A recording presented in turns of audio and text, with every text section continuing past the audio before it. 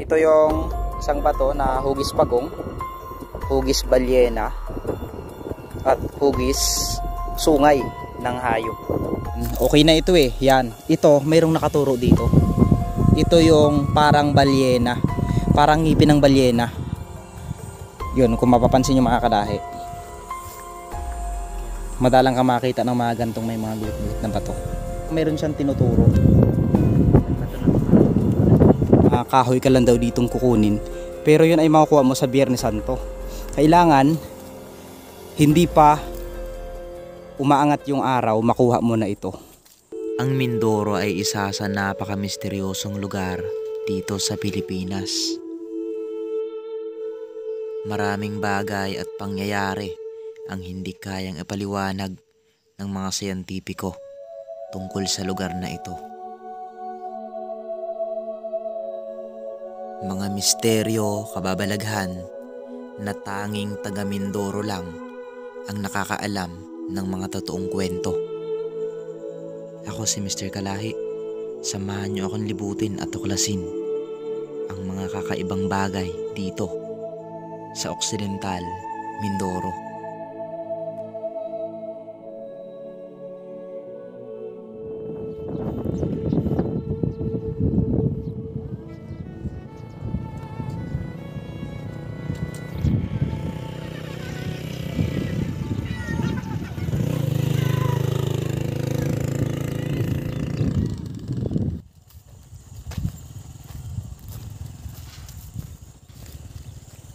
Kakaiba itong bato na ito mga kalahi. At kung mapapansin nyo, nag-iisang bato lang siya sa gitna ng mga talukan, sa gitna ng bundok. Parang may kakaiba na nakatago dito sa bundok na ito. At sa bandang dito naman ay makikita natin yung mga bahay na nasunog na sanhi na rin ng sobrang init dito sa atin. Ayan, nagsusungit naman yung panahon bago tayo pumunta sa ating pupuntahan ngayon ay maraming salamat muna sa lahat ng mga sumusuporta sa aking vlog, sa lahat ng mga patuloy na naniniwala sa mga ginagawa ko para po sa inyo ito. So ngayong araw ay pupunta tayo sa simbahang bato na kung saan ay aakyatin natin itong bato. So yan mga kalahi dahil mahirap yung daan patungo dito sa pupuntahan namin ngayon ay minabuting inakay na lang namin yung motor para kung sakali inistampay namin dito. Kaysa naman nga doon sa dulo eh hindi safe kasi hindi namin natatanaw. Tignan nyo yung bato na yan no? tatsulok. Good morning mga kalahi. Panibagong araw panibagong vlog na naman ang i-explore natin sa episode na ito. Ayan syempre kasama ko ang aking kaibigan na si Herbert. Yan na matagal ko nang in-invite sa mga gantong lakad at sasamahan niya tayo ngayon. Napuntahan itong tinatawag sa amin na simbahang bato. At syempre sa likod ng simbahan at napakagandang bato na yan ay aalamin natin yung mga kwento at kababalaghan misteryo na bumabalot sa lugar na ito. Ngayon lang rin tayo ulit na kapunta dito alamin na natin yung mga kwento na posibleng malalaman natin sa lugar na ito. So yun mga kalahi, antabay kayo at aakitin natin itong napakagandang simbahang bato na ito. Bago tayo makakarating doon sa ating pupuntahan ngayon, kailangan nating magpaalam sa bantay o nagmamayari ng lugar na ito para kahit papaano mayroon tayong authorized na pumasok sa kanilang lugar. Kasi nga may mga daan din naman sa kabila. Pero kailangan nating magpaalam sa mismong nasa sakupan na to.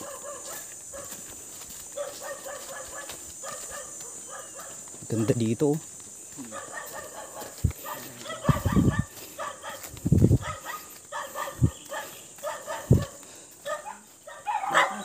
Pagkakilahon, may daanan ng baka yan, magdurukan, magduto, yan.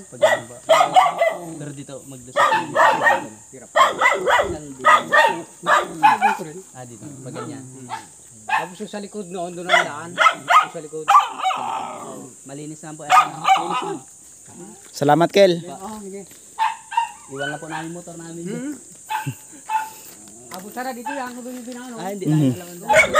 Siguro yun doon. Kaya may mangga na malaki dyan.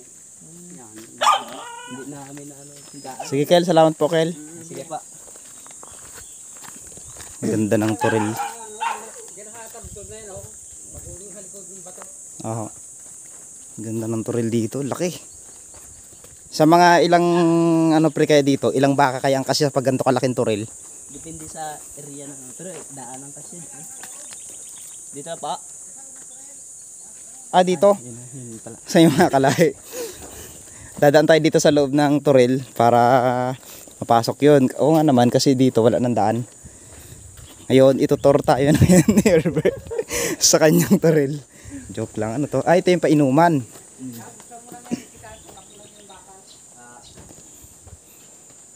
Baboy ramo. Oh, di ba baboy ramo to? Lahi siguro.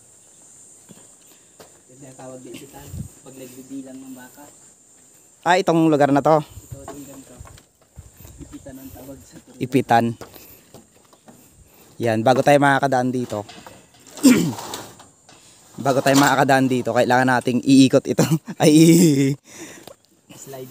slide. Ano? Sliding. Ganda naman. Dito pala inaano, binibilang ang baka.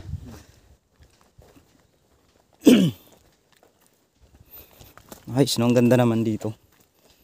Mga kalahi, tignan nyo, para siyang punduhan ng mga tubig. Painuman.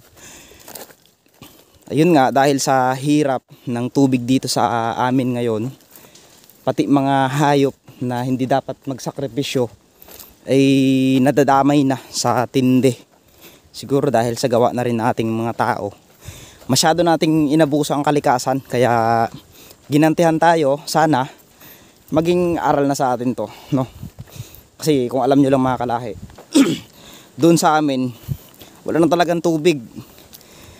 Yung mga tao doon kanya-kanyang igib sa mga poso o bomba na available lang doon sa lugar namin. Kaya ayun, hirap.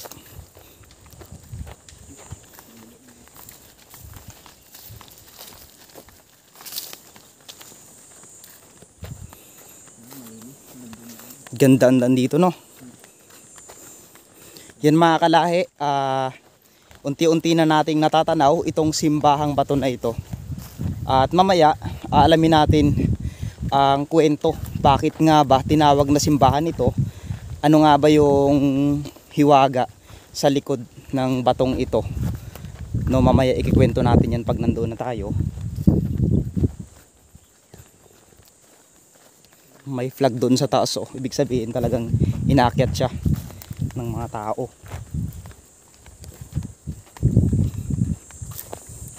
Saan ba tayo dati kumukuha ng kasoy?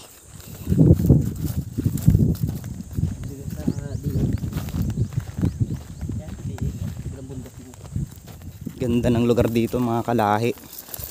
Peaceful. Tapos may kita mo yung tinatawag na akasya.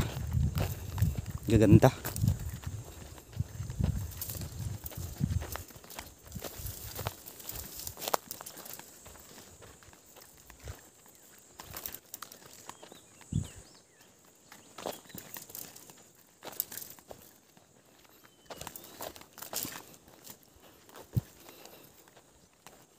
Mga kalahi, yan.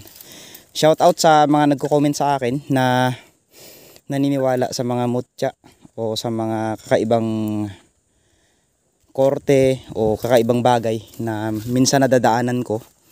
Pansinin nyo to. Yung dalawang puno, kung makikita nyo naman, hindi sila magkapareho pero yun o, nagkaroon sila ng closure, ay closure, ah, nagkaroon sila ng contact. Bagay daw ito sa mga ano eh, sa mga gustong tumagal ang relasyon. 'Di ba? Kasi nga isipin mo, isipin mo, 'di ba?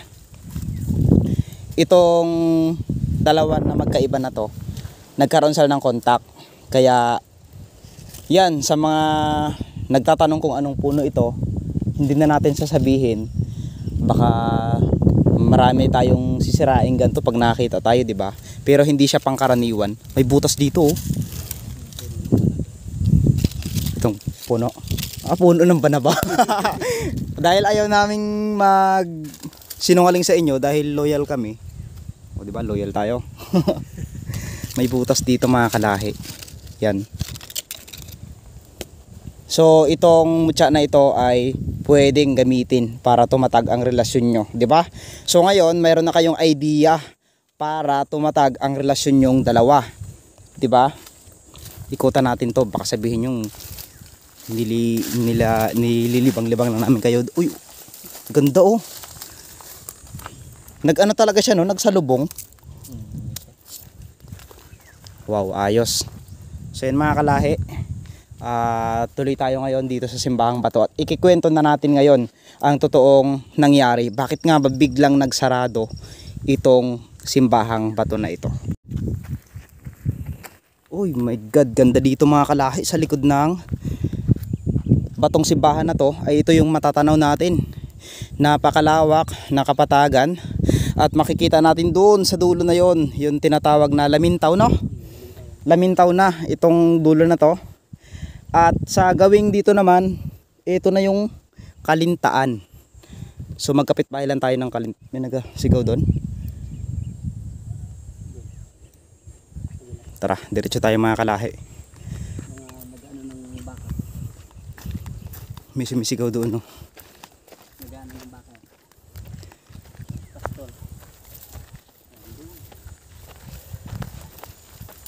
Ganda dito. Sulit. So yan mga kalahi. Nandito na tayo ngayon sa paanan ng bundok ng Simbahang Bato. Ano nga ba ang totoong kwento? Ano nga ba yung nangyari? Bakit nga ba daw sumara itong pintuan ng Simbahang Bato na ito? Yun, alam nyo ba na noong araw daw ay isa yan sa mga hinihilingan ng mga tao kung anong kailangan nila bukas daw ang pintuan na yan upang bigyan yung mga tao ng tulong. So may kwento kasi na may dalawang mag-asawa daw na ikakasal. At dito sila humingi ng damit upang suotin nila. So nag-wish sila dyan at kinabukasan binalikan nila. Makikita mo na daw dito yung magagandang klase ng damit pero sa kabila na yon kailangan mo rin daw itong isauli para kahit papaano sa mga susunod na gagamit na to ay magagamit pa kaso inabuso daw ng mga tao. Ito yung naging dahilan. Kaya pala tuluyan ng nagsarado ang pintuan ng bundok ng simbahan na ito ay dahil sa kagagawan din nating mga tao inabuso natin masyado ang kalikasan. Kaya kung mapapansin nyo tila isang malaking bato na lang ang nakikita natin. At kung makikita natin ito ng malayuan ay tila isang simbahan talaga na mahiwaga. Ayon nga sa mga kwento ng iilan noong unang panahon daw ay napakaganda ng lugar na ito. At ito ay talagang tirahan ng mga engkanto dito so yan mga kalahi ipagpatuloy natin ang kwento natin doon. At dahil nag enjoy pa tayo sa ganda ng view dito. Wow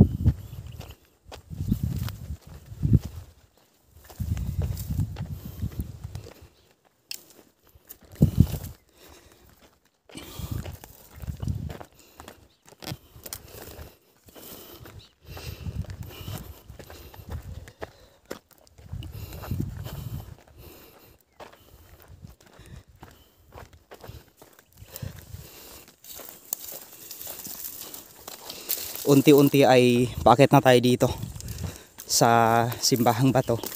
Titignan natin kung ano nga ba yung meron sa taas na ito. Kung ano na yung pinagbago. Ilang taong ka pa rin bago nung unang pumunta dito? Grade 3 nako nasa 15 years na. Mahigit. Sobrang tagal na.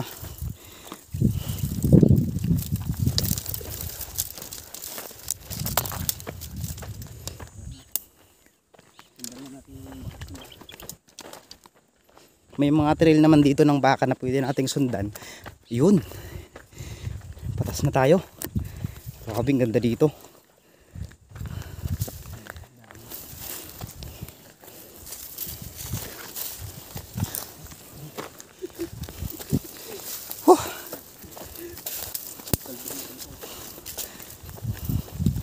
Alam mo dito mga kalahi kapag pumunta ka.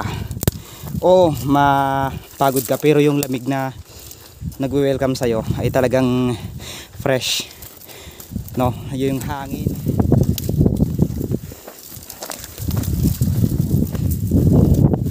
Oh my god, ang ganda. Oh my god, dito na tayo. Oryo, mga kalahi. Tignan nyo yung lawak ng kabundukan at yung pangino. Sobrang taas. Imagine, nakarating na tayo dito sa mismong tuktok ng simbahan. Oh my god. Another achievement. Wow. Oh. Sulit. Napakaganda dito.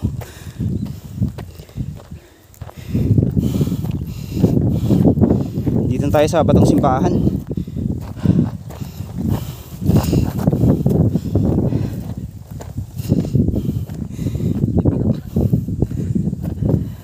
Signal booster nga. Yung mga kalahi. Dito na tayo sa taas ng simbahang bato. Oh my god, kaganda dito. Ito, Wow. kung mayroon drone tayo dito, no? Pag ganun yan, pag ganun ang drone natin. kita Di siya. bali, pagbalik natin dito, may drone na tayo mga kalahi. Ganda. Sa mga malululain, talagang wala. Hindi nila kayanin to.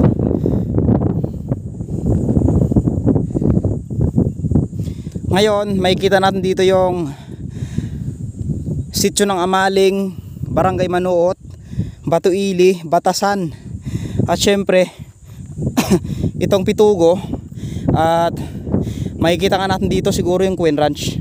Saan may Queen Ranch? Ayun. Dito, dito banda yung Queen Ranch. Yung gruto na pinuntahan din namin. At doon ay ang kalintaan na. Siyempre, ang na to, ito yung Mount Iglit Bako na tirahan ng ating mga tamaraw. Ganda.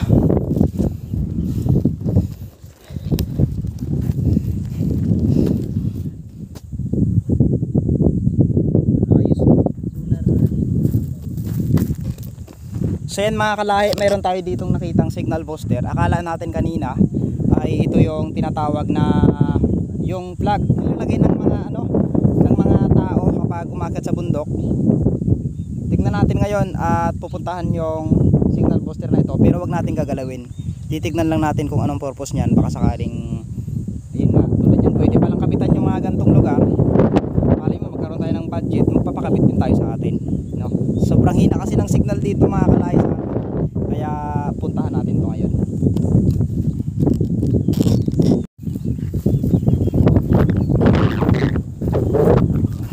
Signal booster pala yan. Parang ang ano eh. Alam mo parang pwede ka maghulog ng lang nagbibigay doon. Galing, solar pala. Dito siya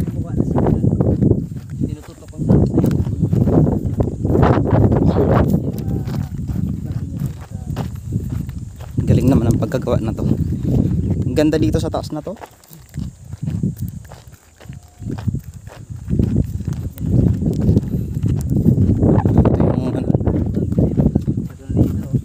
Oo, mamaya picture tayo doon. Poster ah, grabe no.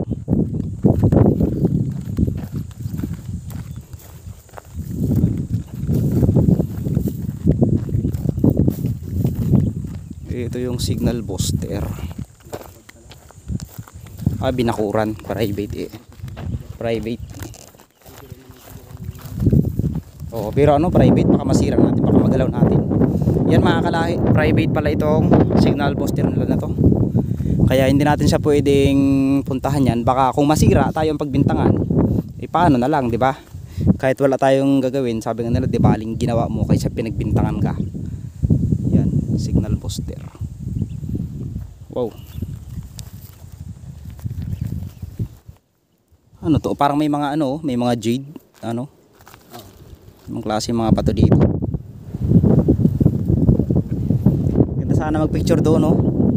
Kaso, may ano na, may lagusan. Dahil dyan mga kalahi, maraming salamat sa patuloy niyong suporta sa akin at sa patuloy niyong panunood ng mga video ko. Ayan, abangan nyo ang part 2 ng aming vlog na ito upang ipakita sa inyo yung mga iba pang kakaibang diskubre tungkol sa lugar na ito. Maraming salamat po. God bless, mag-iingat kayong lahat kung saan man kayong dako ng mundo. Thank you po.